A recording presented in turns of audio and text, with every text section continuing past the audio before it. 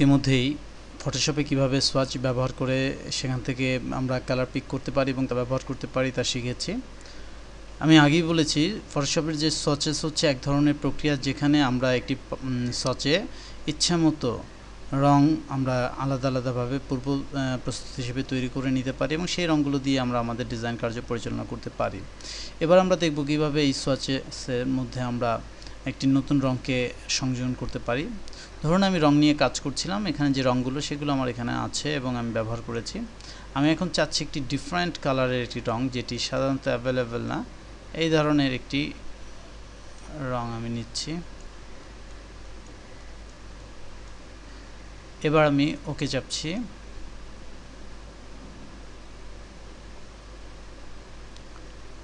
আমার এখানে আমার প্রত্যাশিত রংটি নির্বাচিত হচ্ছে, হয়ে গেছে এবং আমি চাচ্ছি যে এখানে এটিকে একটি সচ হিসেবে অ্যাড করতে, যে যখন তখন আমার যদি পরবর্তীতে টেক্সট বা অন্য কোনো ডিজাইনে কালারটি ব্যবহার করতে হয়, আমি যেন সেটি করতে পারি। এই জন্য রাইট বাটন চেপে সো এখানে আমাদের কালার সোয়াচের নাম দিতে হবে। আমি আপাতত সোয়াচেস অনেক প্রদর্শন করছি এবং এখানে লক্ষ্য করুন এই কালারটি সংযোজন হয়ে গেছে।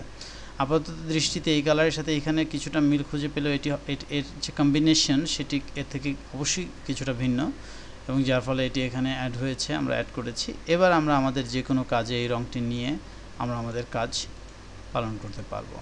এভাবে করে আমরা সোয়াচ ব্যবহার করে আমাদের যে কাজকে ডিজাইনিংয়ের কাজকে আরও অনেক সহজ করে তুলতে পারি।